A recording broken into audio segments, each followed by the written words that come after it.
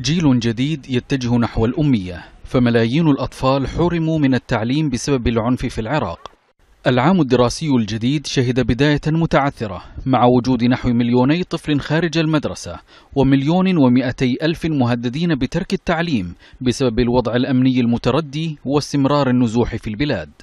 ووفق منظمة اليونيسيف في العراق توجد أكثر من 26 ألف مدرسة 5300 منها دمرت أو أصبحت ملجأ للعائلات النازحة بالإضافة إلى دور الميليشيات والجماعات المسلحة باستغلال مدارس الأطفال وجعلها قواعد عسكرية.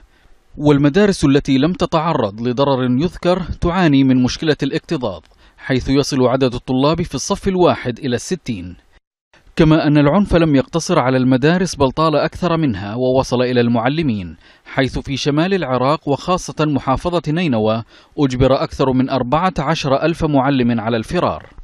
ولمواجهة هذه الكارثة وفرت اليونيسيف لحوالي نصف مليون طفل إمكانية التعليم حيث شيدت أربعين مدرسة جديدة وقامت بدعم 141 صفا في مختلف أنحاء البلاد بالإضافة إلى إنشاء 1558 فرصة تعليمية مؤقتة ل 220 ألف طالب.